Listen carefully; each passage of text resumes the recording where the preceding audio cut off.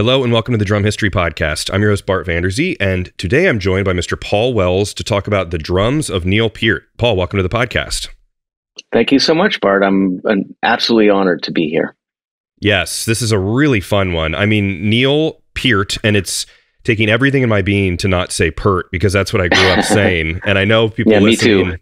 It's it is Peart though. So just to put it up, you know, right at the beginning, uh, I don't think he'd be too mad knowing that people call him Pert, but like eh, it's Peart. So, but we're talking about the late great uh, Neil Peart, and it's been a little bit of time since we lost him, but you are the correct person for this because you are a true uh, gear fanatic when it comes to Neil. Mm, thank you. Uh, I, I, guess I am. Yeah, it's been a, a, something I've been. Yeah, I mean, I'm I'm a huge fan of his playing, of of their music, and all of that. You know, obvious stuff. Um, but also, just for some reason, my brain just likes to hone in on the gear of of the musicians that I love, and and I tend to have a, a relatively good memory for learning that kind of stuff. So yeah, I mean, it's it's cool. It's it's interesting how I mean this is a whole different topic, but how the brain works and you just hone in on certain things where someone might have no interest in gear, cannot remember anything. What did I play when? I feel like Ringo is famously doesn't remember much mm. of his you know gear and things like that. But uh, we need people like you to keep track of all this stuff. So uh, right off the bat, this is probably going to be a longer episode. This might be a two parter. We're not sure at the point of recording this. We'll see how far we go, or it may just be the earlier years, um, because at a certain point in the 2000s, Paul and I were talking before, it sort of becomes a similar kit, just with variations. We'll see what happens uh, as we go. But I want to mention before Paul starts in on his uh, I, with the pictures, and I we have all kinds of cool stuff you did a great interview with Mike Dawson where you talked more about what got you into Rush and your background with all this stuff. So, for the sake of time, is it fair to say we should just refer people to that episode to hear more about your information on your background with Rush? Yeah, absolutely. I think um, we talk about um, yeah my interest in them and where I first heard them and things like that. But we also that episode is really about kind of analyzing Neil's drumming um, and talking about a particular period of, of Rush's music that I think gets a little bit overlooked, which would kind of be this mid period of hmm. kind of the Signals album to the Counterparts album, 90, uh, 82 through 93, roughly. And um, uh, so, yeah, that, that would be, you know, the source for that. We're not really going to talk about that kind of stuff. We're really kind of just going to go full on on, on the gear. Sure. Here. Sure. We'll sum it up pretty simply and say Paul likes Rush and then just move on from there. Yes. So, um, all right, Paul, let's. Well, first off, let me just tell people you are a drummer, you're an educator at Juilliard, uh, you're an amazing mm-hmm. jazz drummer, similar to your friend, my friend George Fludas, where you love this rock icon. With George, it's Bonham.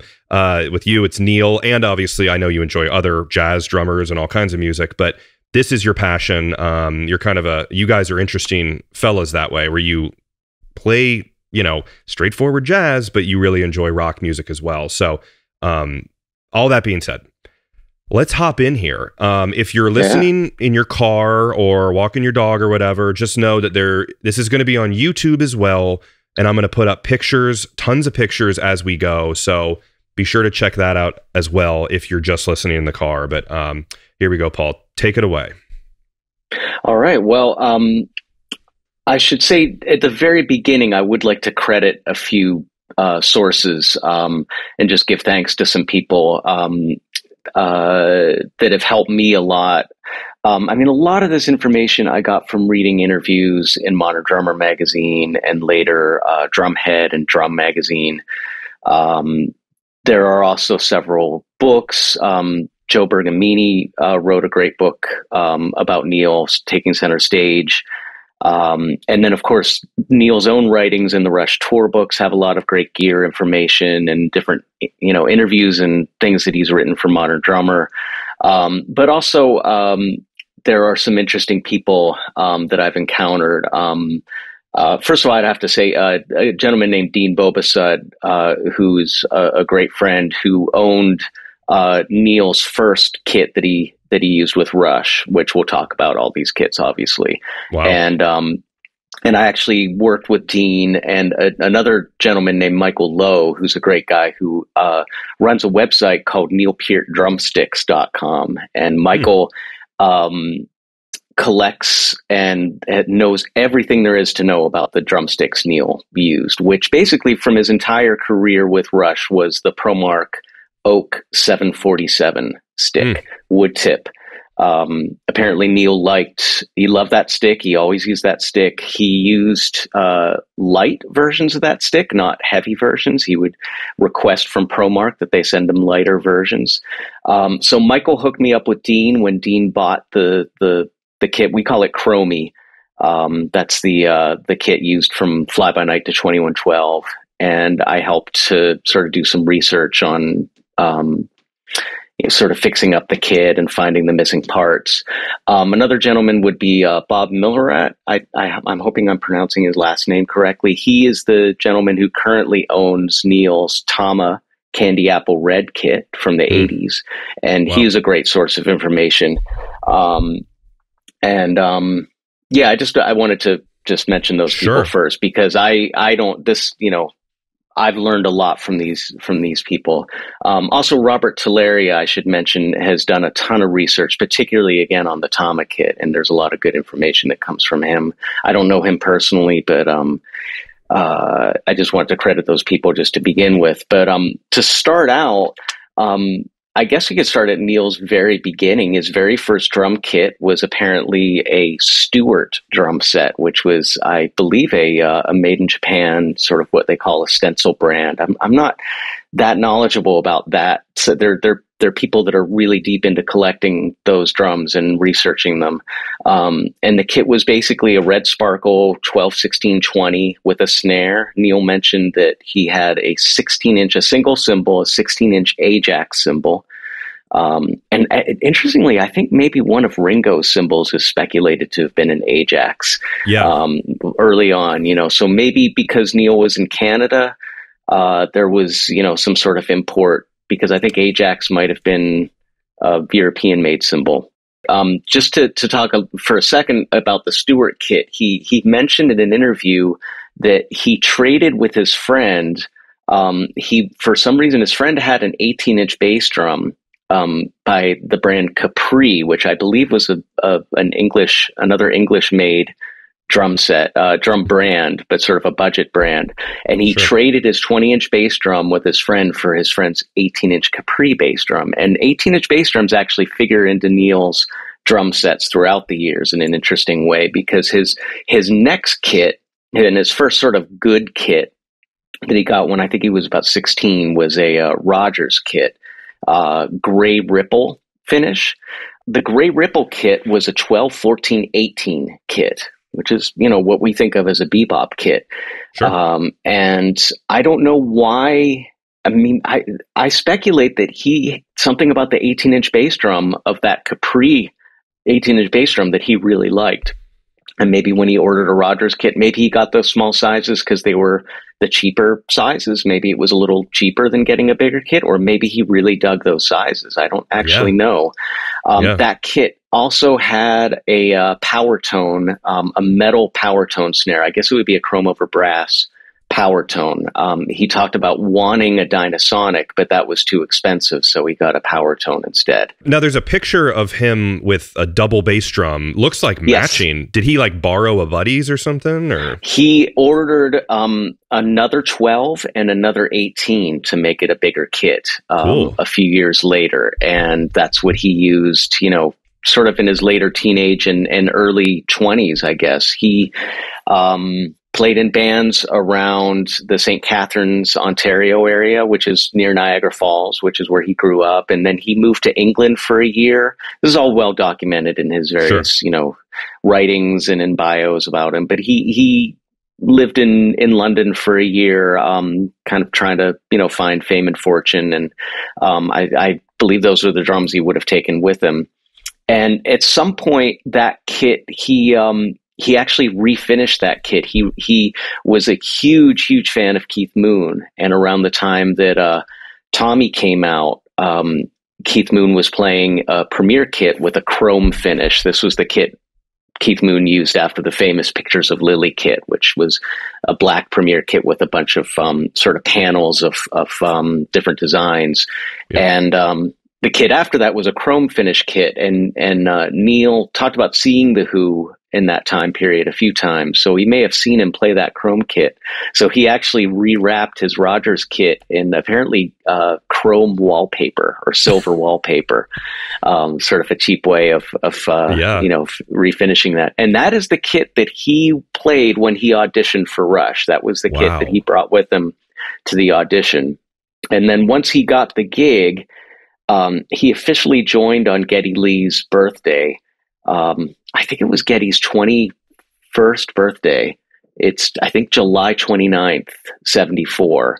Hmm. And right after they were about to start touring, they were, they started touring in um, August of 74. And um, they had a record company advance for the tour. So they went to a uh, music store in Toronto uh, called Long and McQuade Music, I believe, mm. and they bought a bunch of gear for their upcoming tour, which is like everybody's dream. You know, you're yeah. you join a band, they're on a they're on a label, they get an advance from the label for tour support, and you go to the music yeah. store and you buy your dream stuff. So Amazing. so Neil bought a Slingerland kit which um, had a chrome finish, and that is the kit that has since become known as Chromie. Gotcha. Um, this is the kit that I mentioned my friend Dean um, owned for a while and that I helped him restore. And Chromie initially was um, two 14 by 22 inch bass drums, um, three rack toms. Um, now, the sizes are kind of a little weird. The first rack tom is a 9 by 13. The second mm-hmm. one is also a 9 by 13.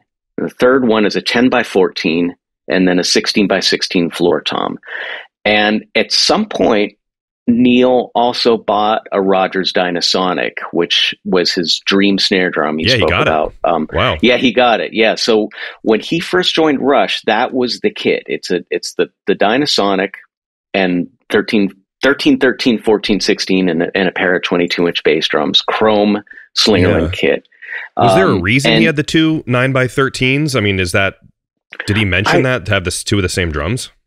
Honestly don't know. I, I do know that um, Keith Moon's kit, you know, I mean, I spoke about Keith Moon before as being yeah. a huge influence on Neil, and this is a known thing.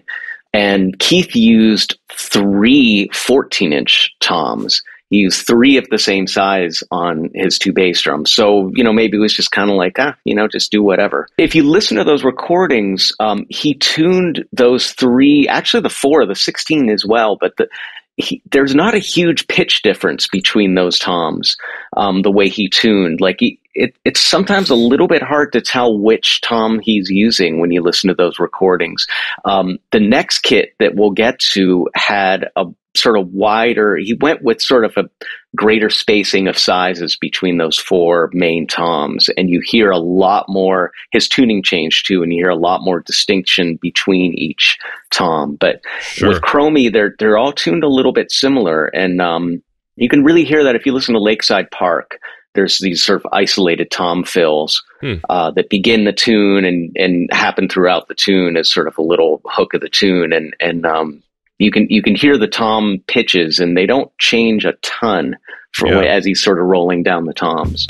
Cymbal Swap is the first and only online cymbal rental service in the US, giving drummers the flexibility to try out various cymbals and experiment with different sounds before committing to purchase. Whether you're looking to upgrade your kit or you're a seasoned drummer going out on tour, cymbal rentals are cost effective for upcoming gigs, recording sessions, or discovering new sounds. Browse through Cymbal Swap's extensive collection of cymbals and add those that you would like to try to your cart. Then just check out, and the cymbals you selected will be conveniently delivered to your door. Now you get to experience any cymbal on your own kit. If you like them, you can extend your rental or choose to purchase. Not what you're looking for? Then just send it back with the prepaid shipping label. Cymbal Swap carries over 20 brands from the top names in cymbals, as well as one of a kind handmade cymbals by independent cymbal makers from around the globe. Go to cymbalswap.com and use promo code DRUMHISTORY for 10% off your next cymbal rental. That's cymbalswap.com with promo code DRUMHISTORY for 10% off. While we're on Chromie, I just wanted to ask just briefly, you know, what was the state of the drum set in when you guys Ooh. were doing the restoration? You know, I'm sure that's a whole hour long conversation there, but It was not good. Um, it was really, really road worn. Um, I mean, first of all, Rush toured really, really hard throughout their career. Like their final tour was still, you know, a long tour with a lot of dates, something like 70 gigs or something like that. And, mm. you know, they were spacing them out. You know, they didn't usually do consecutive dates and they had a full road crew and everything. But man, these guys did not take it easy ever. But in those early days, they were touring constantly and doing lots and lots of one nighters, consecutive nights, um, very little help, very little road crew and anybody who's done any sort of touring or even just done rock shows where there's like three bands on the bill, you know how much of a scramble it is to get your gear on and off stage and yeah. stuff gets stuff gets bashed up and you know, yeah. especially in those days, I mean drums were not you know, with all due respect to our love of vintage drums, you know, bass drum spurs and tom mounts and things like that were just not very roadworthy. They, they, you know, you, you a vintage disappearing spur like you'd find on that Slingerland kit, somebody's carrying it and accidentally hits it against a guitar amp, that spur is going to possibly get like shaved right off, you know, yeah. and you know, you're not going to find that as much with modern hardware, but you know, that kit had a lot of scratches, a lot of big gouges um, in the finish. Um, there were also a lot of just missing parts. Um, it, it didn't really come with any hardware, I think, except for maybe the the stands that the concert toms were mounted on. Um, so we had to figure out, we had to study all these old pictures. Um, and, and Michael Lowe and I actually did most of this work, and mostly Michael, I should say, actually. Um, did all of this work with like finding as many photos as, as he could um, contacting fans who had taken photos and asking for like high res scans of photos they'd yeah. taken at shows that were never published and zooming in and like trying to figure out like so most of his cymbal stands at that time were early pearl which is interesting because pearl weren't really on the map as much in 74 as they would have been certainly 10 years later sure. um, yeah that's that is and, interesting and, and this is actually interesting when when dean um, was working on restoring the kit and needed to source a bunch of Pearl cymbal stands, he actually bought a bunch from Steve Maxwell's store that, believe it or not, used to be owned by Elvin Jones. As a little jazz tie-in, Elvin wow. used Pearl stands with his Gretsch kit in the 70s, the exact same kind of straight cymbal stand. So um, and Steve had a bunch of those that came from um, Elvin Jones's widow after Elvin passed. So Dean actually bought those and and used them with uh, with Chromie. Um, well, I I will throw out that like I have heard in doing some of the stencil MIJ episodes that the early Pearl um, hardware on their early MIJ kits were n- noticeably better than maybe some of the other brands mm. where you know it might there's a bunch of different brands that would be under different categories, but um, perhaps it was a hey, this is pretty good quality stuff, and it's also affordable. Uh, but they, I just remember hearing Pearl was the top of the Japanese hardware at that time. That makes sense, and also they're not uh, flat base stands. We're talking about you know somewhat more modern stands for the time with a with a sort of a proper tripod base, and yeah. and you know they're relatively light by today's standards, but for for those days they actually would have been pretty heavy. So that might have been something that he would have looked for. Would have been you know yeah. we want something that's going to hold up. Do I see a canister throne on uh, the, yes. the, a couple of these pictures? Yes. That's interesting. Yes. Um, it's a Ludwig canister throne, and also he was using um, Ludwig Speed King pedals at that point, and actually continued to use those well into the 80s. Um, it wasn't until around the point of the Red Kit that he started using Tama Camco pedals. But yeah, he used Speed Kings for all of what I think a lot of people consider, you know, a very classic period of Rush, if not the classic period, the '70s up through you know Moving Pictures is is all Speed Kings, um, yeah. but you don't hear a squeak on any of those records. Interestingly, so yeah, they've managed to get that under control. Thing. I mean, yeah, yeah.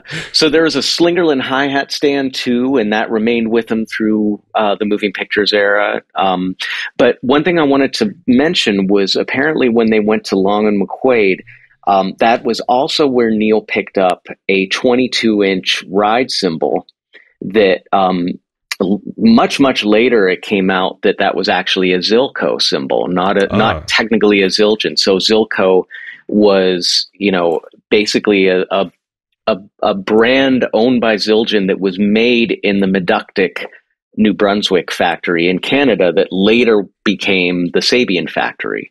Yeah. Um, and that was sort of a secondary factory for various reasons. I mean, the, people should listen to your uh, interview that you did with uh, Andy Zildjian on Sabian to, Yeah. to find out the history of that. But um, that was a that was a Zilco, the 22 inch ride.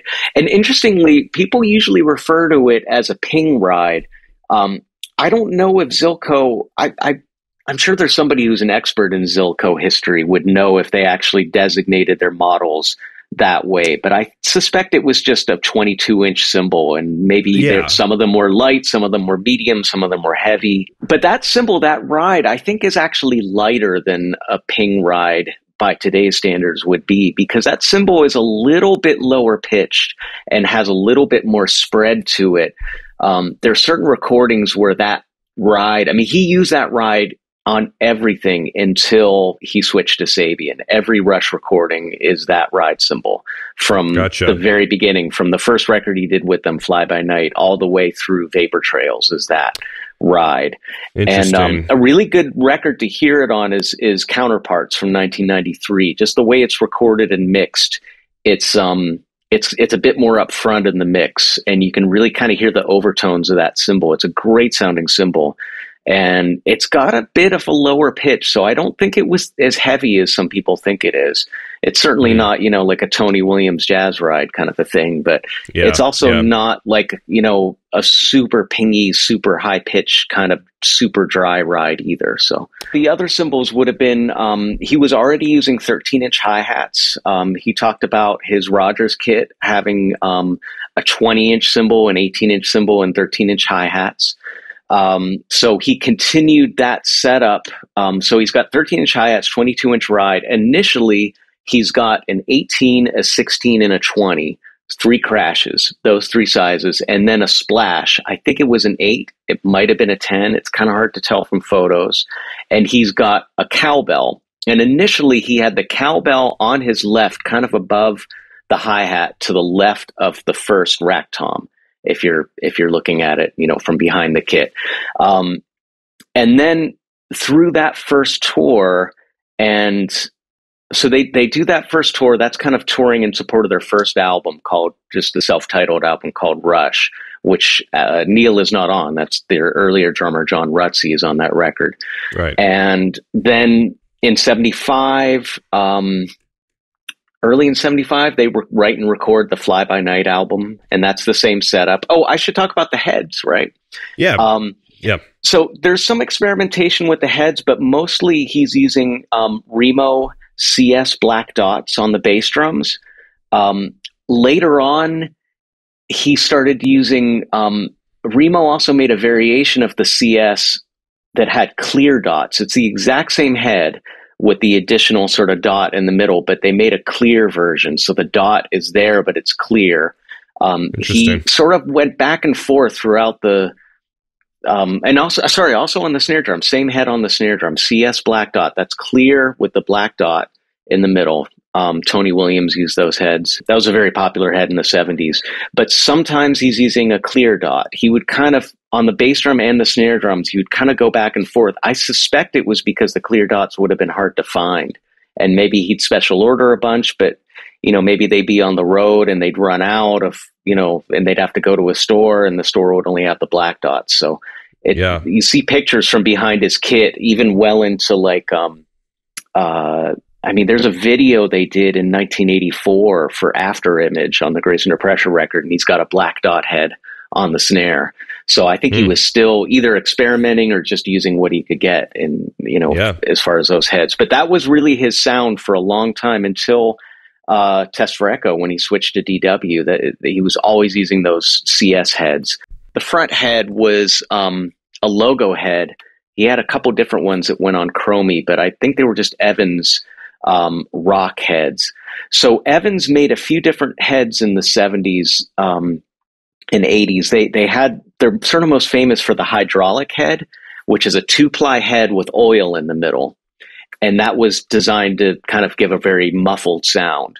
And then they had another head that was just called the rock head, which was the same thing, two plies, but without the oil.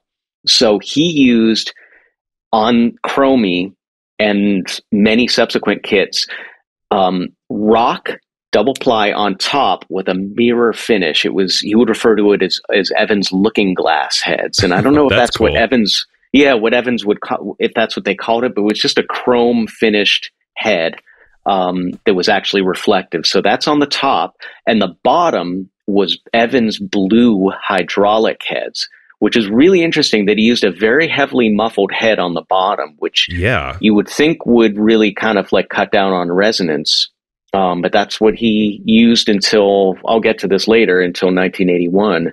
But that's the Hmm. head combination on on Chromie. Wow. I love the chrome on chrome. I mean, it's just like it, It's it's a cool it's a vibe. Yeah, for sure. I should I should mention you asked about the condition of Chromie. Um, when Dean got it, it actually had Neil's heads on it. They actually had the heads that Neil last played. You know, towards the end of you know he used that kit until May of '77, and and it had whatever the last set of heads that he used um, with That's Neil's awesome. stick marks on them and everything. Yeah, that was something that I was really amazed to see was was actually the you know Neil's own used drum heads was was really really cool with with you know his if you look at pictures from above the kit you see that his stick he was very precise this the, there's a very Sure. like clear His sort of center and a radius of of like you know kind of a very clear circle of stick marks you know he wasn't Yeah, hitting off yeah. center very often no. Um, Was he a heavy hitter? Like when he played, I mean, he seems like he would ergonomically,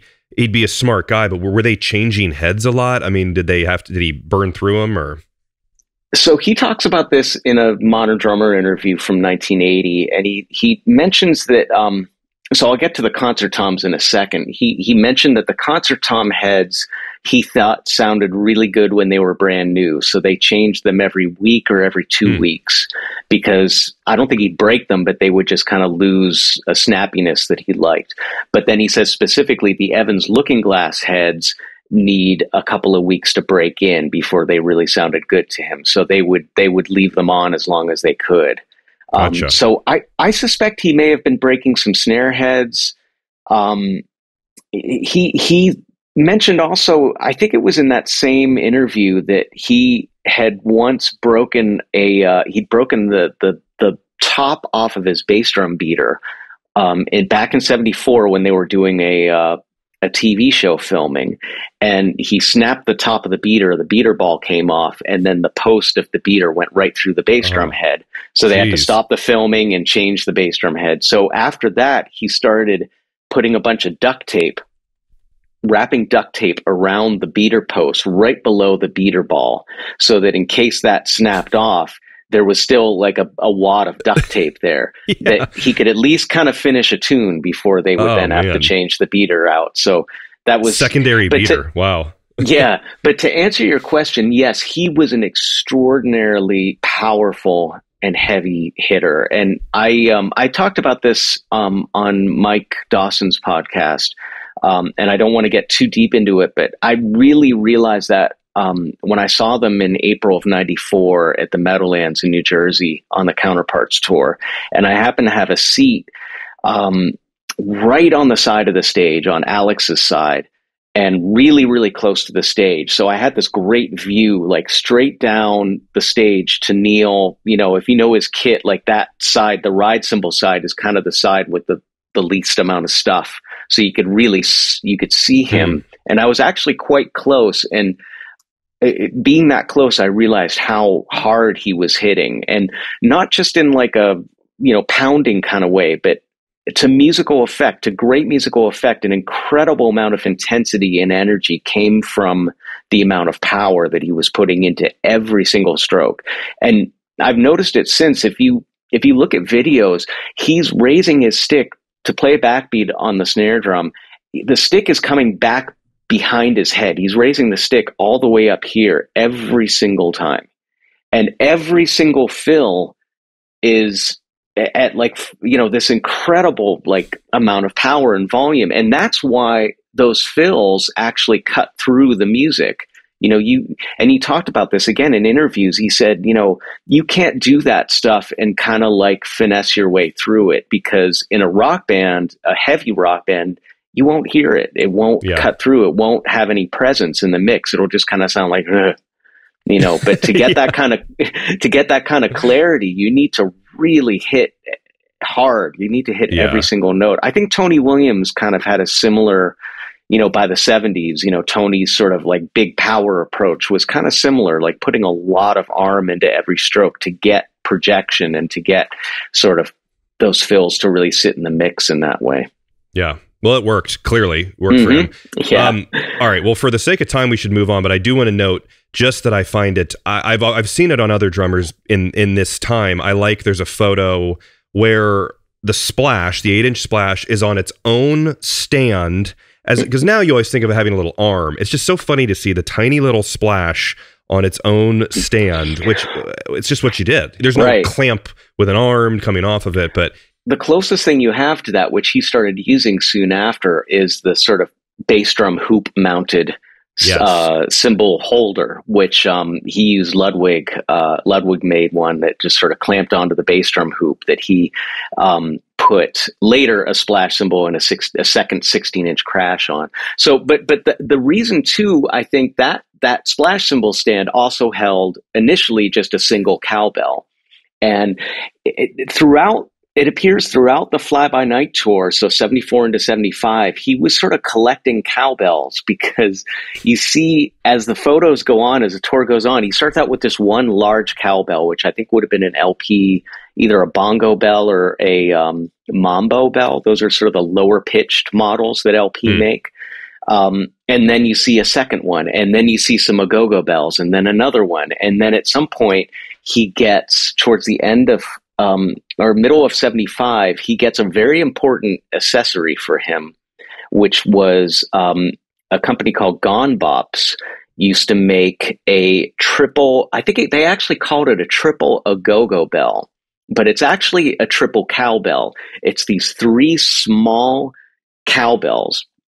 And his particular, there were a couple different versions that came in different pitches, and his I believe, were kind of based around an A major triad, where the highest note was an A major. And the reason I know that is because if you listen to some certain tunes, like um, he uses them at one point in Xanadu, and I believe at that point of the tune they're playing an A, maybe they're playing an E. Anyway, the highest pitch, the highest pitch cowbell that you hear him play is the same pitch as the the the root of the the, the, the tonic of the tune. sure. Um, Nice. So anyway, that comes into play in in '75, and that's a really important that triple agogo, and Yeah. then a and then a, a sort of medium size and a low pitch cowbell. That five cowbell array that mounted off the splash stand is something that he stuck with until the very end, and and Yeah. would use it, you know, in tunes and also in his solos, and that's something I always really love that part of his solo. I always love the little Oh cowbell God. Part. It's- It's, super cool. One other thing that we got to mention with Chromie is that um, after when they when they um, so that's the that's the rig, but towards the very very end of the Fly By Night tour, right before they go in to record Caress of Steel later in '75, he somewhere along the line picks up a set of four concert toms that he put up on his left, six inch, eight inch, ten inch, and twelve inch concert toms. Which, for anybody who doesn't know, concert tom is a tom tom without a bottom head. And for whatever reason, he couldn't or didn't want to get a um, a set of concert toms that matched his kit because the, the for Chromie the concert toms are actually a metallic copper finish. They don't actually perfectly match the kit. And you can see that in color photos from that time. And on the concert toms, initially he's using either there's there's one photo where you can see he's using CS black dot heads, but most of the photos you see from that time period, and also when Dean got Chromie, he's using Ludwig silver dot heads on the concert toms, Hmm. which is a slightly different sound. Um, and also, at some point, um, he stopped using the Dynasonic and started using a very, very famous snare drum that is sort of you know people talk about all the time as as Neil would either refer to it as number one or he refer to it as Old Faithful. Um, apparently, his drum roadie at the time popped into a pawn shop and bought this Slingerland snare drum for sixty dollars, and it is a uh, five and a half by fourteen Slingerland artist model snare drum. Um, not the solid shell version, but Neil's was a three ply with reinforcement rings. And that also had the same copper finish as the concert toms. And Oh, that cool. snare drum stays with him again until he switches to DW. That's the snare drum that he used on basically every live show and many of their recordings, if not most of their recordings. So that's Wow. a very important addition to the kit at Yeah. that time. for And sixty then they do- dollars. yeah, I know. Yeah, he definitely got his money's worth on that one. yeah, and it ties together the color of the uh, you know, the different. The- uh, right. look with the concert toms so it's like it's as if it was on purpose uh, with that but Yeah. all right Yeah. so shall we move on to the Mhm, uh, mhm. 77 to 79 he's a slingerland guy big endorser for slingerland you know i mean he was never an huge. endorser, actually. Ah, he was never an endorser. He never signed with them. Um, was never officially a Slingerland artist. His first endorsement was was Tama a bit later on. Um, interestingly, but he. Um, um, it's possible he might have been officially an, a, a Zildjian artist before the Tama thing happened, but he never was with Slingerland officially. And and he spoke about that in a Drum Magazine interview where um, he was talking about switching to Tama, why he switched to Tama, and he said, you know, Slingerland were kind of faltering at the time in the mid to late seventies.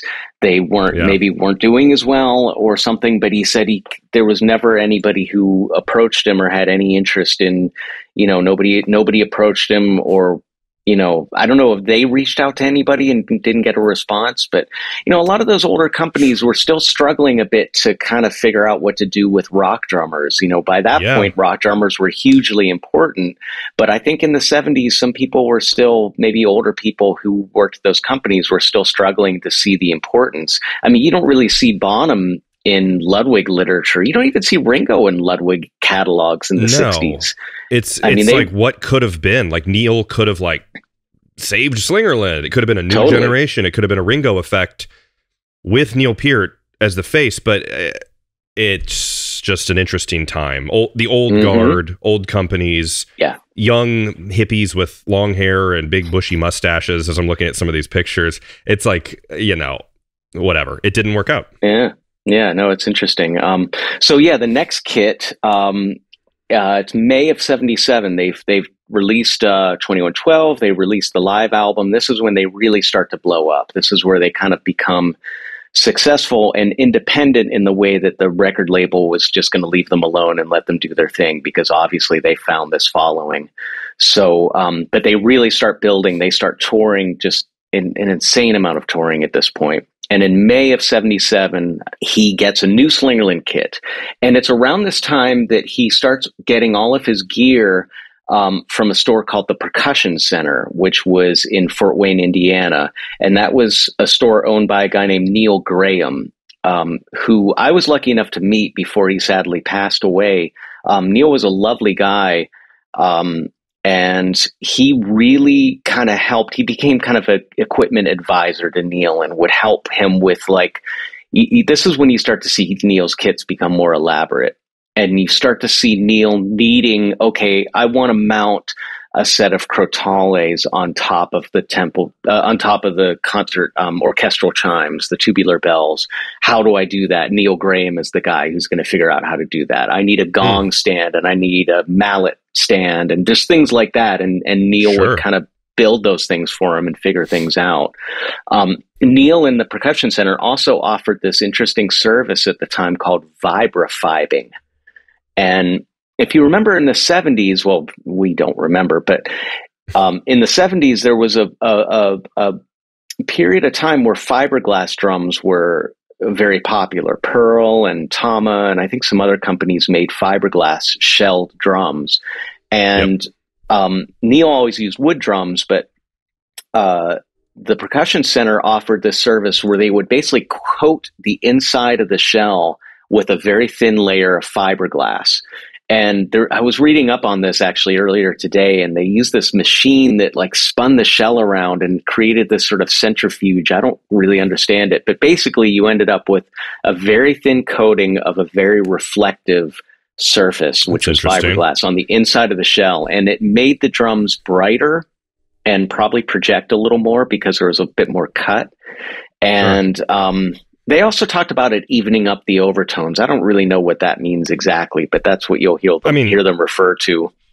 Yeah, it's kind of similar to the Pearl wood fiberglass drum sets. I don't know the construct. I've played those a lot, but I don't know the construction mm. as hmm. much. But I imagine it's just the the inside is uh, adding fiberglass, and I have I have heard that it does actually uh, projects very well. So okay, uh, so he did do that then, right on his kits. He yes. So starting with this the second Slingerland kit, which um, is in a it's a black chrome finish. It's I think it's listed in the catalog as black chrome, and some people refer to it as black chromey as opposed to chromey, the earlier kit.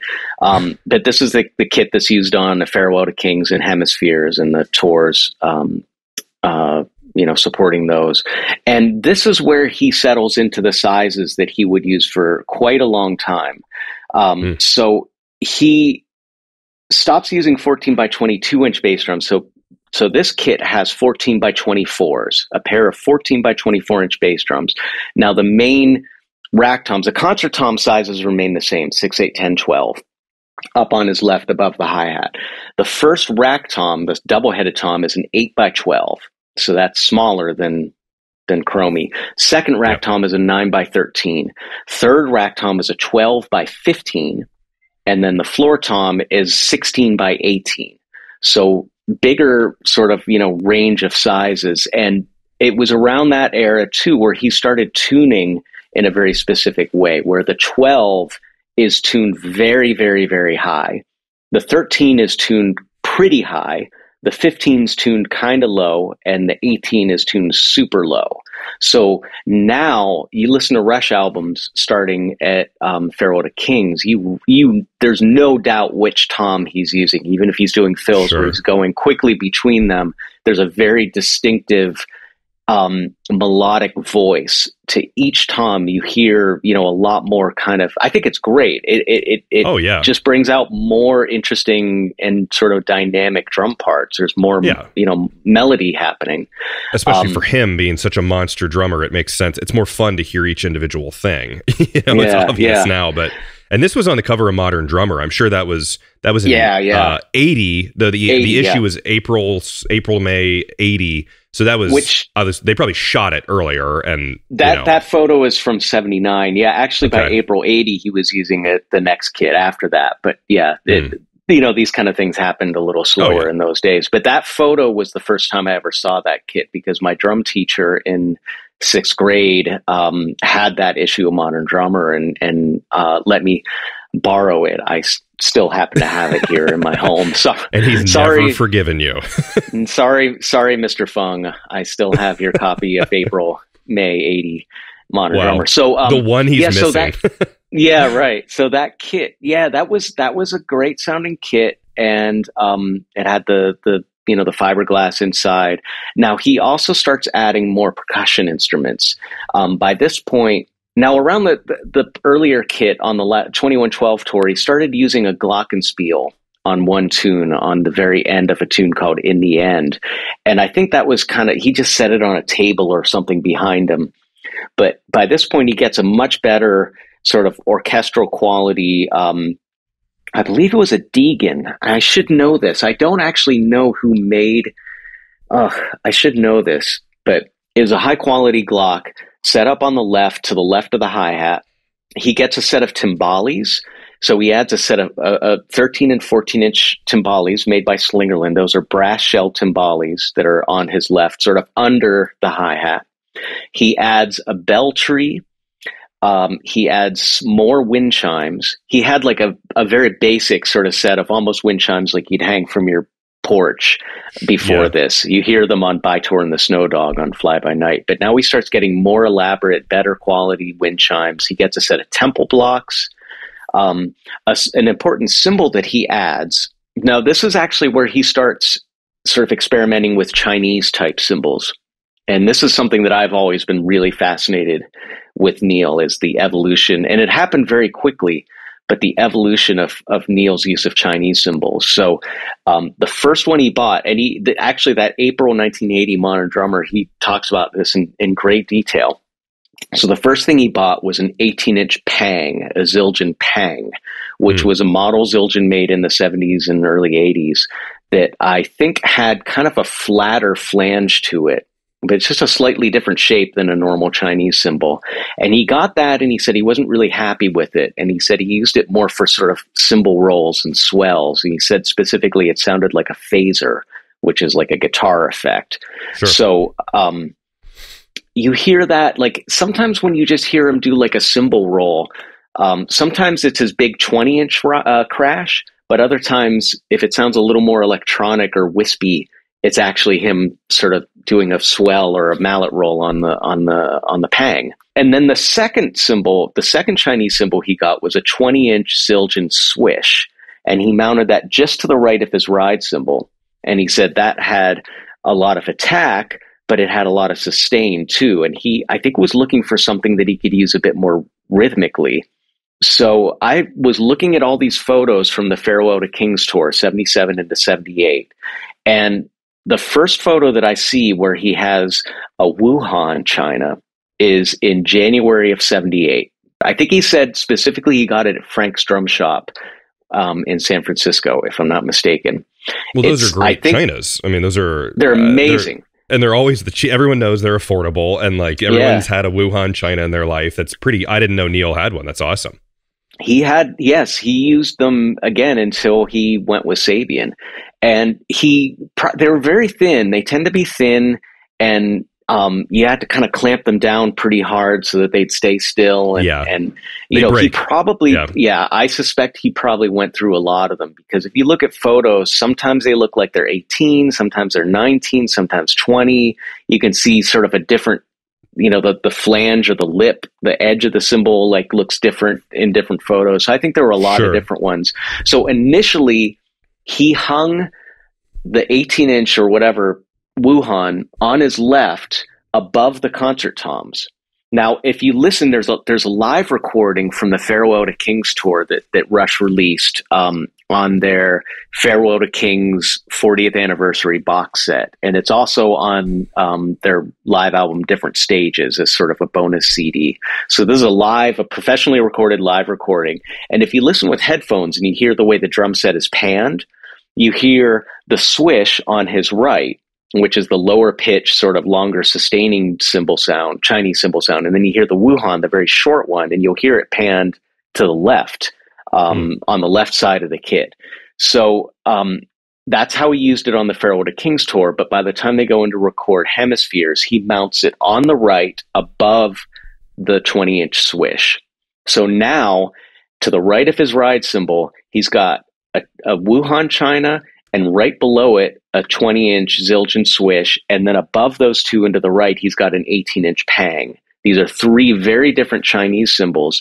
And this is hemispheres is where he starts to really use the Chinese cymbals as a rhythmic effect. You hear him doing, um, you hear it on um, on uh, La Villa Strangiato, um, where he does these these um, uh, patterns where he goes between like the ride cymbal and the Chinese cymbal.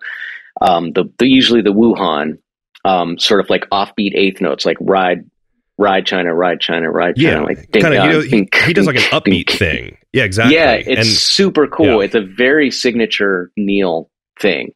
Yeah, and um, and that's where you start and, and it's really it had a lot to do with where he put it in his kit because it's right next to the ride cymbal. that's where he had room to fit it i guess but then he gets into all these cool patterns between the ride and the chinese cymbal. but if you when i see transcriptions sometimes of neil's drumming i see people just generically saying like okay china here but maybe not always making the distinction uh, between which of those three Chinese cymbals he's using. Um, and if you listen to something like the intro to Red Barchetta on Moving Pictures, you'll hear that he's actually hitting the Zildjian swish a lot in the intro and the outro to get this longer sustained Chinese sound. Yeah, which that's a specific cymbal in itself where the swish right. was like used by a bunch of jazz guys for a long time. And that's right. has its own. I, I hope to do some an, an effects cymbal episode, but like Oh, cool. the swish knocker and all that stuff. I mean, it's very specific as opposed to like a smaller Wuhan China that's whoosh in and out. You know, Well, there's there's a history with all of those things. Actually, just as a very very quick sidebar, um, jazz drummers in the 1920s uh, were using what we know, what we think of now as Wuhan type Chinese cymbals. Um, Dixieland era drummers were using them as kind of effect cymbals, like short crash cymbals. But then in Yeah. the 30s, a drummer named Dave Tough, who played with Woody Herman, would use it as a ride cymbal. He put rivets in it and would ride on it. And then later in the 60s, 50s and 60s, Mel Lewis kind of brought back riding, you know, in a jazz context, playing the Chinese cymbal as a ride cymbal. And he would use sometimes a Wuhan, a larger Wuhan, or sometimes a Zildjian swish or a swish knocker. Mhm. Um, so there's this whole school of, of Mel Lewis influenced drummers, which comes from Dave Tough, um, using Chinese cymbals as ride cymbals and, and all those Yeah. different variations. So yeah, that's, that's a whole nother thing I could talk about for an hour. So yeah. sorry. Yeah. No, that's okay. Um, all right, we'll ca- carry on. So, yeah. So hemispheres, a few other things that get added at hemispheres. Oh, I forgot to mention with uh, Farewell to Kings in '77, he adds um, a set of tubular chimes behind him um, that he uses on Xanadu and and um, uh, Closer to the Heart, um, which is a super cool sound, and it just they look amazing. You know, a big set of tubular chimes behind you. That's just super cool. Um, Yeah. For hemispheres, he gets a set of, I, and I don't know if it's crotales or crotals those it's sort of Zildjian make them. They're they're a um, you know sort of an ancient finger cymbal that's tuned to a, a you know a, an octave from C to C. yeah. He gets a set of those, mounts them above the tubular chimes. Again, this is where Neil Graham comes in to figure out how to mount a set of these things on top of your tubular chimes. Um, he gets even more wind chimes. Um, he also adds a timpani for hemispheres, and he adds a big gong above the timpani. So this all fits behind so him. much stuff. I This mean, is the- where he starts to ha- be surrounded by stuff. Yeah. Um, and and he's he's he has these he it, around Farewell to Kings they build these sort of like racks on either side where they hang his wind chimes and his temple blocks end up going up there. And it's it's this whole thing. He's he's really now surrounded by stuff. You can see the pictures Yeah. um, you know where he's sort of surrounded by all this stuff. And he's got triangles hanging off of the racks. And a lot of this stuff is used on the tune Xanadu. Xanadu has this sort of two minute intro, this very atmospheric intro where he's playing these little rhythms on temple blocks, but playing wind chimes and hitting triangles and doing all this sort of light Yeah. um, and beautiful percussion stuff, sort of He's orchestral than- percussion. I, there's nothing wrong with being just a drummer. It's more what I am, but he's more than that. I mean, he's he's a true musician with with all of the different uh, things he's experimenting with, and why not? Absolutely. You know, I mean, he clearly has the skill for it, and so you know, someone's paying for it, so just do it. Keep getting yeah. Uh, But the thing is, too, if you read interviews with some other drummers at that time, you'll see people leveling criticism, not specifically at Neil, but people say, oh, these rock guys have these huge kits and they don't play half of it.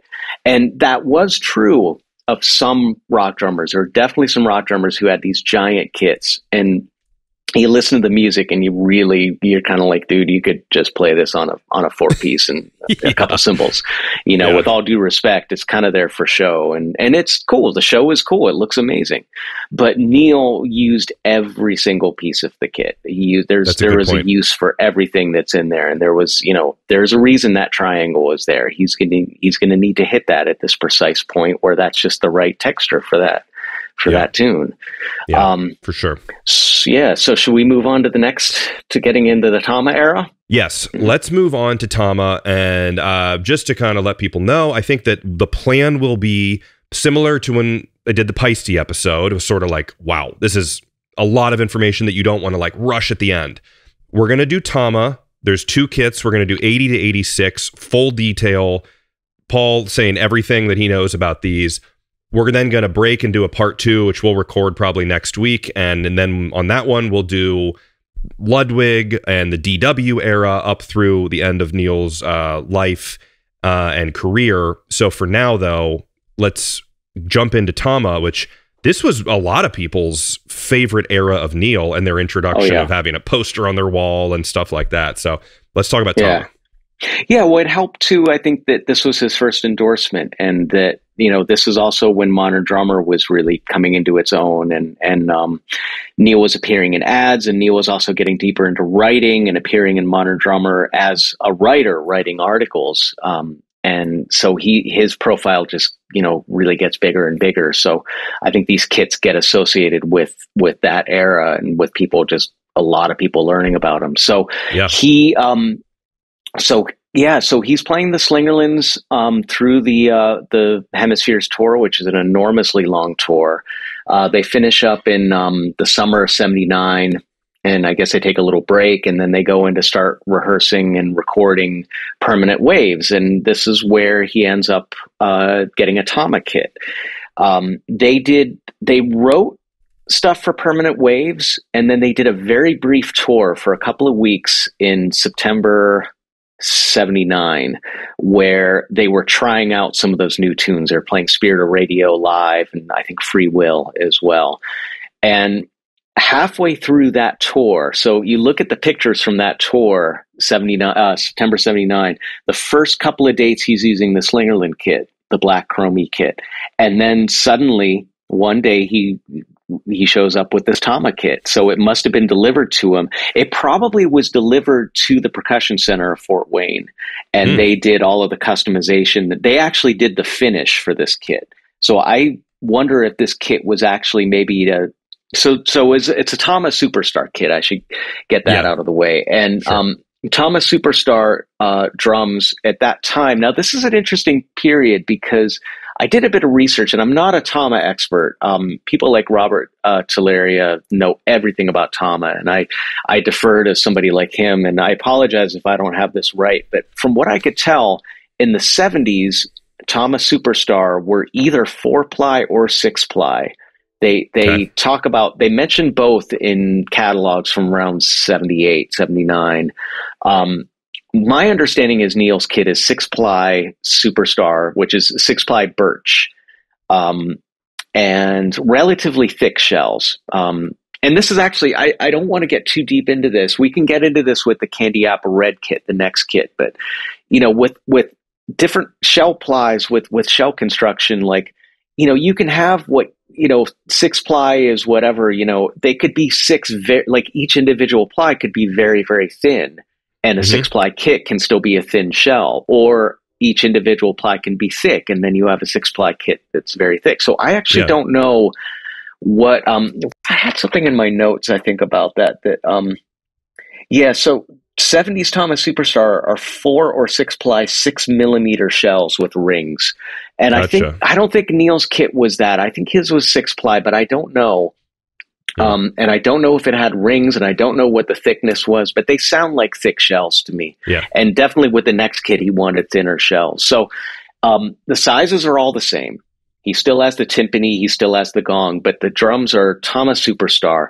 And the Percussion Center did this custom finish um, that's a rosewood finish. And Neil talked about having some antique rosewood furniture at his home, and he wanted to replicate the look of this wow. furniture. And it's this very so sort strip? of did they strip it down and refinish I, I, it? I don't know. They, I mean, superstars came in this natural birch finish. Often, that was one of the more pop. That's like Billy Cobham's drums Billy Cobham was the guy who really put Tama on the map as a pro line. You know, he was their first major endorser. Um, sure. Him and Lenny White were both endorsers, and they they really like built that company from from from um, you know be, being it be, before that they were you know a stencil company, I stencil, guess. Sure. And um, so so if you look at the catalogs, it's just it's Billy Cobham all over the catalogs, Lenny White, and and I know Bill, Neil was a big fan of Billy Cobham for sure. Um, I suspect probably Lenny White too, because Lenny was in Return to Forever and playing his mm-hmm. butt off at that time too. So they made natural birch finished drums. Maybe the percussion center started with a set of, of those, and then they they painted over them this this rosewood finish. Yeah, but it's this beautiful. very beautiful. Yeah, it's a gorgeous finish, and they also did brass plated hardware. I assume that this was done by the percussion center as well. I assume they took all of the lugs and hoops and everything and actually coated them in in brass. And this mm. is the first kit that Neil had that was brass um, plated hardware, which is something that he stuck with through basically the rest of his career. Every yeah. of his every one of his major kits had brass plated hardware. The, so the cymbals stayed the same, the percussion stays the same. The only difference with the percussion instruments is for some reason when he got this kit, he also swapped out the gong. If you look at Hemispheres era photos, like that Modern Drummer um, cover, he's got this gigantic gong.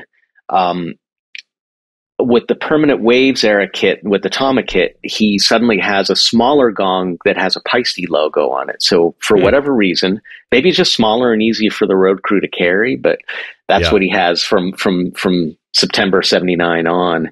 Um, the heads are the same. Um, he still is using Speed King pedals, um, Slingerland hi hat stand, but um, all of the cymbal stands, I believe, everything switches over to Tama at this point. Um, they were making extremely high quality hardware then. They still do, yeah, of course. Absolutely, um, yeah. You know, so he switches over to that stuff. Um, there's a great photo that I sent you of his kit um, on uh, at the. There are actually a few photos from the Permanent Waves recording sessions, and one of them there's a black and white you see of the band. Um, and what's actually interesting about this is um, you see a couple of additional snare drums if you look really closely. Um, sure, there's yep. a Ludwig Supraphonic, a six and a half, a 402 that you see on its side on the left of the photo. And then on the right of the photo, you'll see a Gretsch snare drum. Um, you can sort of see the lightning strainer um, sort of in oh, the corner yeah. behind Alex Lifeson. So yeah, I'm actually interested in his snares. This is something he starts talking about it um, for 1989, 1990 for the Presto album. He talks about using different snares for the first time on that record. But I wonder if he was experimenting with things even as far back as certainly, you know, this uh, Permanent Waves era.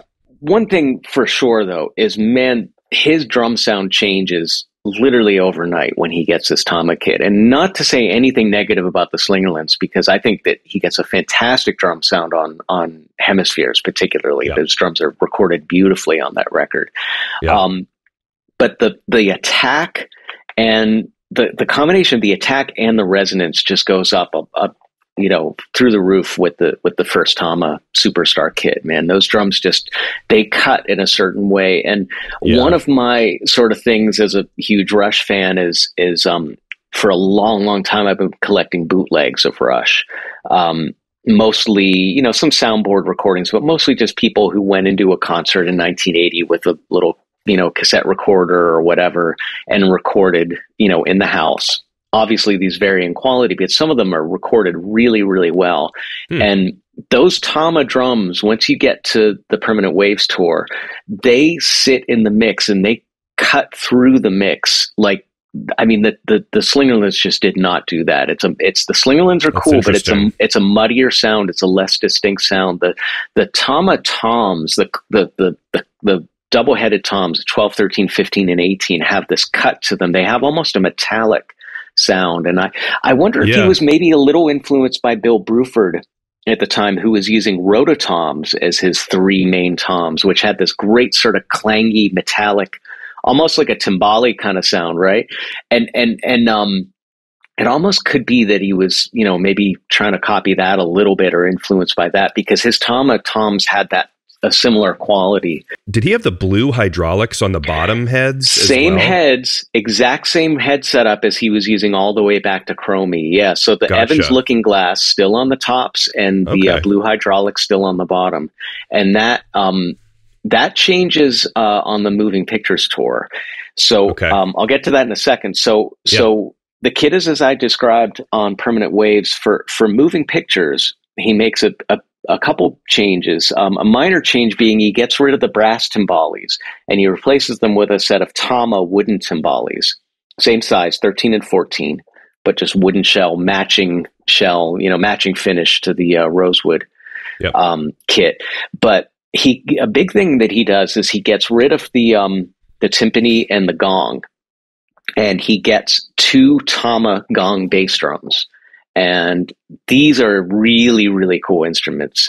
Gong bass drum is a single headed drum, basically, that, you know, Tama still makes them single headed. It's a bass drum size. Neil had a 22 that was on the floor, mounted as a floor tom. And then above it, he had a second one on this Tama rollaway stand. And that was a smaller one as a 20. and they have this oversized head that fits over the bearing edge like a timpani does.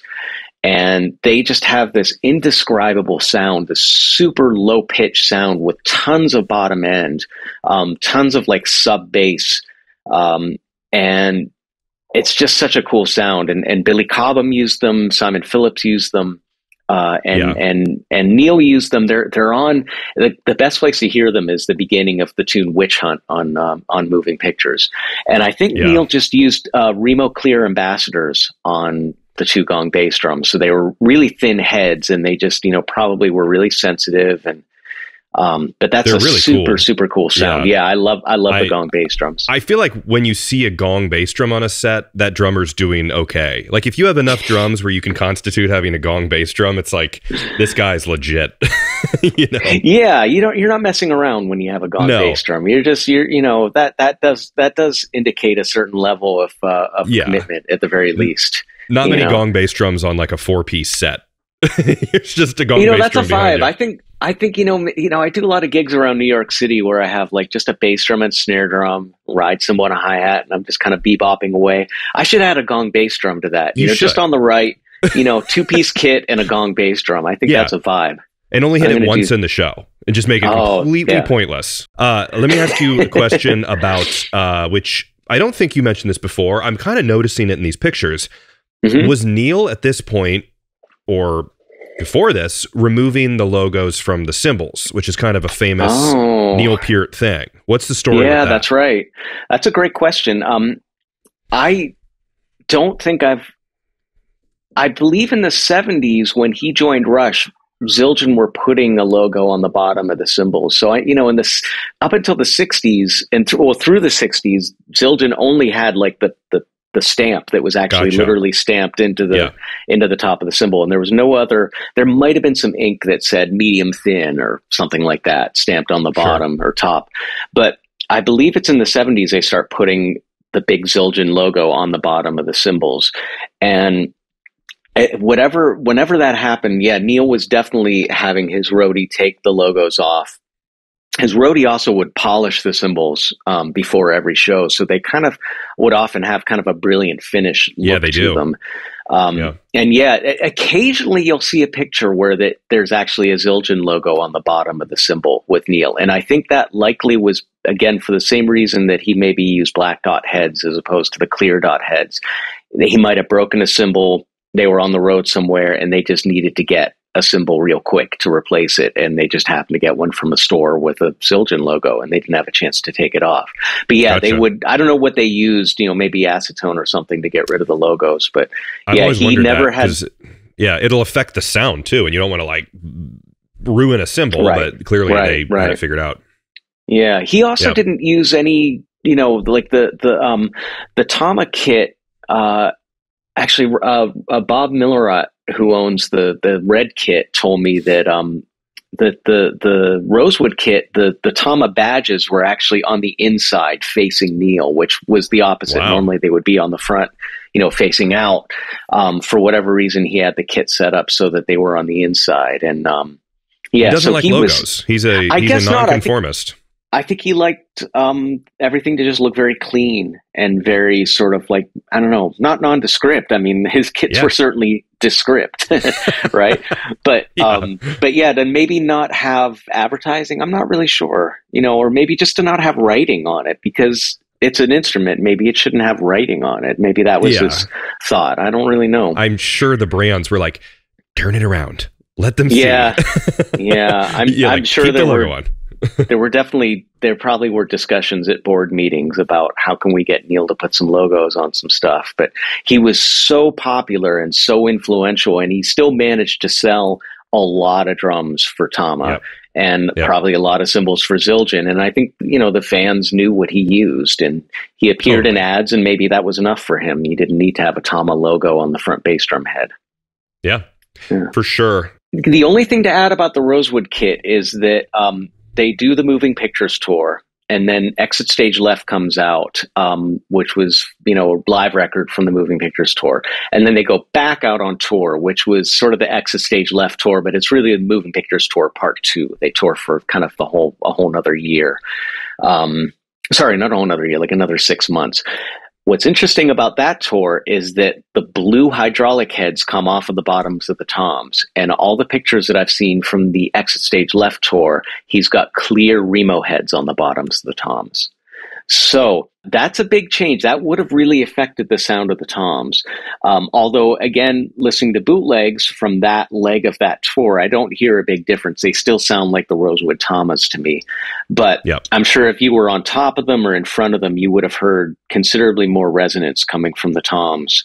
Um, so that's actually a big change. And that kind of leads us into the next kit, I think, because he was looking for something more. He was looking for a different tonality and a different resonance because when they were mixing Exit Stage Left, he was apparently they, they talk about this in interviews the band didn't have much to do it was mostly their producer who was sort of you know editing the, the record together and choosing takes and mixing. So they were in the studio, but they were bored. So Neil found they were they were mixing at Le Studio, which is a studio in um, Quebec that they used to record at a lot. And Neil found this old set of Hayman drums lying around that used to belong to Corky Laing, the drummer from Mountain.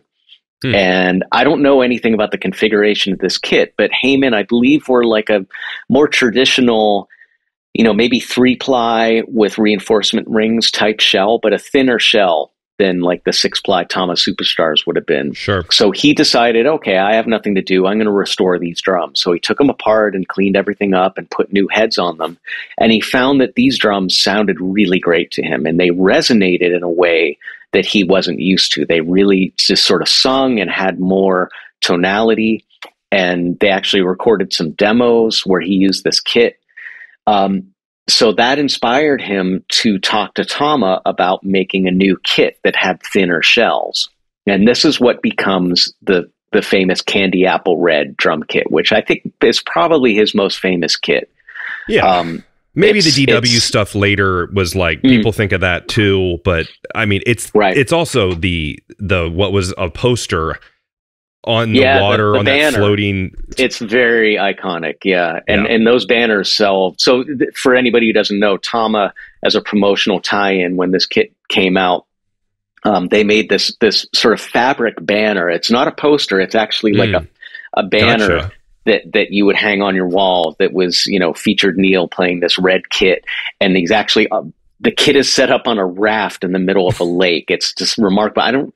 It's it's it's a really great photo shoot and and um, those banners sell for like thousands of dollars on ebay now. It's it's wow. it's crazy. They're very very collectible. So um, yeah so so he uh, spoke to neil graham again from the percussion center and talked to him about what he wanted to do and and they actually apparently discussed well maybe you should go with a company like gretsch because gretsch still make um, a very thin shell drum um, at that time, you know, Gretsch were one of the few companies that didn't go towards, you know, like Tama, like Ludwig at the time um, were making very thick shell drums, six ply, thick shell drums.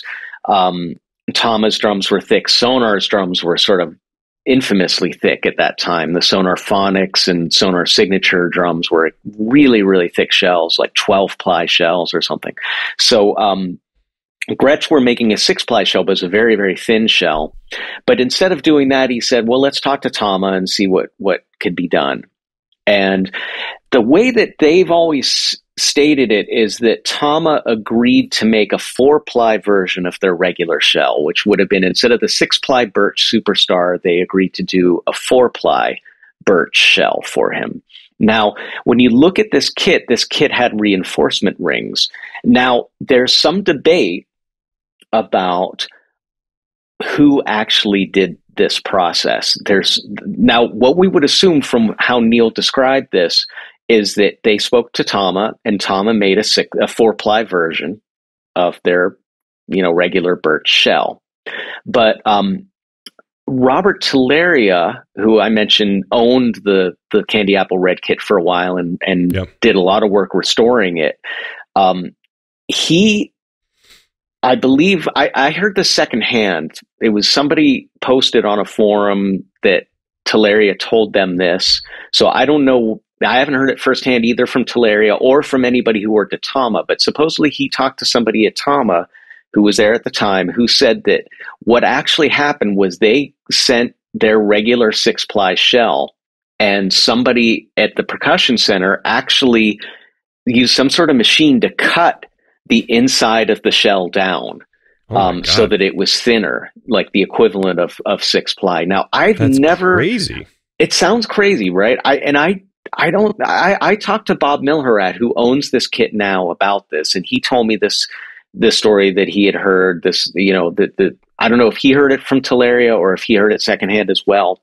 And I couldn't imagine how this could be done without just destroying the shell. I'm, I'm I don't really the understand the process. supposed to be the glue is glued. I mean, we've that's been talked about on the show. Like, I mean, this is not something where, and it's not. You're peeling it off. You'd think it would get destroyed.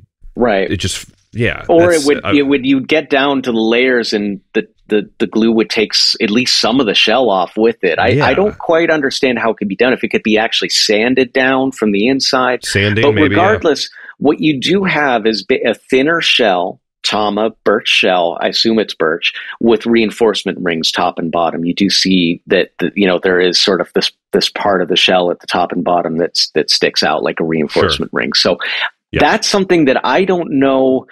You know, I don't I don't have like the true story behind that. I don't know. I can't say for sure definitively it was one way or the other. I would guess if I was to say logically, I would think Tama could have. Why couldn't they have made a four ply version? They supposedly used to make four ply shells for the superstars in the 70s. So it seems logical that they could have done that. Yeah. But for their I most also popular, one of their most popular endorsees. Just right. And it. but I Yeah. also don't want to discount you know what what other people have said. So I No, will say. I do not know the story, but what we do have is the candy apple red kit. Now that finish, the candy apple red finish initially was done by the percussion center at Fort Wayne for Neil. So they did the original candy apple red finish and this kit debuts in April of 1982 when they did a brief tour testing out some of the, the tunes that would end up on signals. And that's the first Mhm. time that this kit came, you know, was was seen. And everything about the setup was exactly the same as it was for the Rosewood kit, except for one thing. Um, on actually for the Signals tour, they moved. So I mentioned the crotales or crotales mounted on top of the tubular chimes. When Yep. you look at photos from the Signals tour, they moved them from the topular for the top of the tubular chimes onto the rack opposite the temple blocks um, on either side of him. But everything else about the size of the drums, the heads. Now this is where he changes the heads a little bit as well. So um, one thing that's very cool is he switches to Evans red colored heads, which just looks so amazing with awesome. the candy apple red kit. Yeah, it's a Yeah. really cool look. Um, not the bass drum and snare drum, but the the rack toms, the clo- the the, the double headed rack toms. So he changes to. I think he's still using the rock two ply head on the tops, and the bottom I think was just a single ply head, but still Evans red heads. Um, so that Gotcha. replaced the Remo because Remo didn't make a red head at the time. So, um, but one thing that's interesting is on the um, the videos they did to promote signals at the end of '82, is you can actually see on the concert toms instead of the regular black dots heads he was using, he actually also has red Evans heads on those.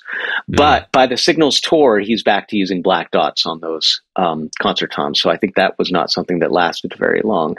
is his snare like on, when he's on the Mm. floating in the the water and that that Yeah. portion is that still that old Slingerland snare he was using there? It is, Okay. yeah. And and I mentioned that that Slingerland snare was maybe I didn't mention that, but that was also copper finished. Oh, I did because it matched Yeah, you the did. concert Yes, toms you did. And it's the so artist series, right? yeah, yeah, with a Zoomatic strainer and you know a, a tone control and everything. So he maintained that same copper finish with all of the different kits. Um, now he talks about this in his modern drummer interview from April '84. He talks about getting that drum painted. He said that the copper finish looked okay with all of the kits, and he said it even looked okay with the rosewood kit. But once he got the candy apple red kit, he thought it started to look a bit tacky.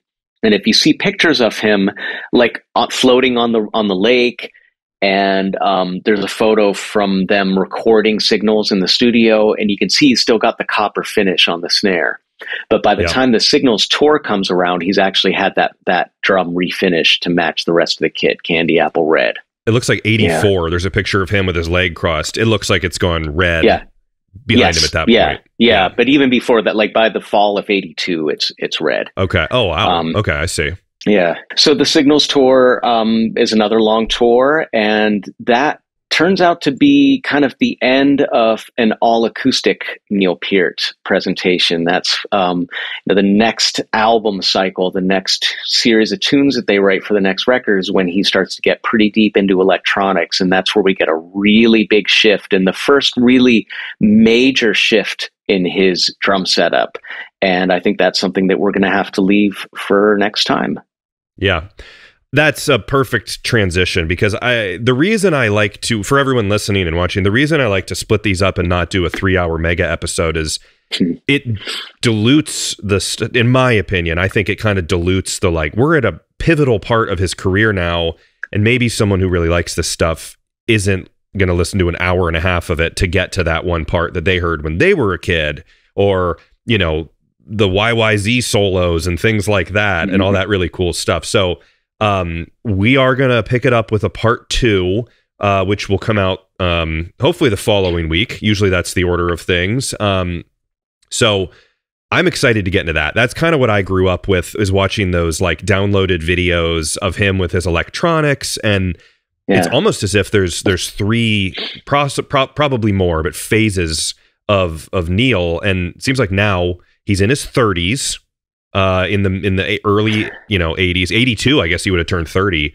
Yeah, that's right. Actually, around the beginning of the Signals tour would have been his 30th birthday, September 12th, Yeah. 1982.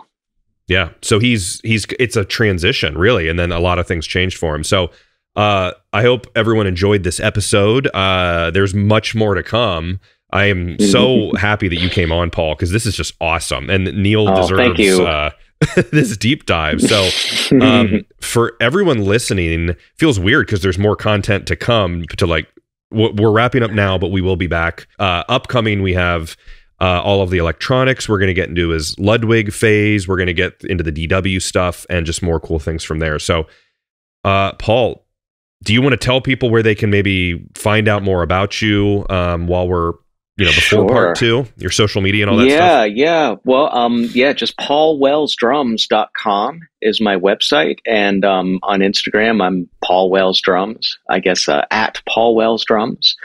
Uh, those would be the two major places to find out about me. Yep. Cool. Perfect. oh, one Uh, other. I guess awesome. uh, you I have a Yeah. YouTube channel, um, but now I'm forgetting if it's. I I think it might be Paul Wells Drums as well, or yeah. I think I'll put it in the description. I'll find it and, and put it in there so people can check it out. So, um, all right, great. Well, Paul, then until next time, we will reconvene on another day and finish up uh, with part two. So, um, Paul, thank you for being here. Thank you so much, Bart. Honor to be here.